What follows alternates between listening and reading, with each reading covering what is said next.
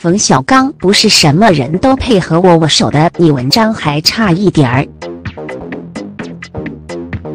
邓超凭借《烈日灼心》拿下了最佳男主角，范冰冰凭借《我不是潘金莲》拿下最佳女主角，普天同庆，两人都收获了自己的礼物。不过晚会上还有很多值得推敲的一幕。从座位我们可以看出，邓超、李晨、范冰冰、冯小刚都坐在第一排，文章、包贝尔坐在第二排，这还是和圈中地位和辈分有关系。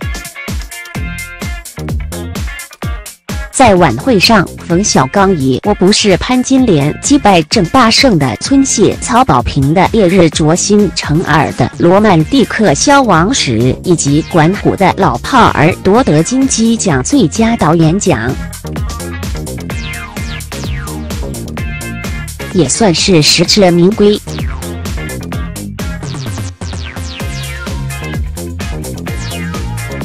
在其中有个插曲，在他听到自己名字后，站起来和周围人一一握手。在跟文章面对面时，文章以为要跟自己握手，想了想，站了起来，伸出了手。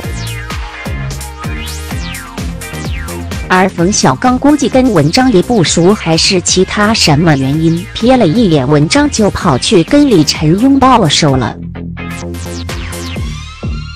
文章只能灰溜溜的坐下，场面一度十分尴尬。要是文章没有哪件事情发生，现在一定也是一线坐在第一排的。可惜造化弄人。对于这件事，你怎么看？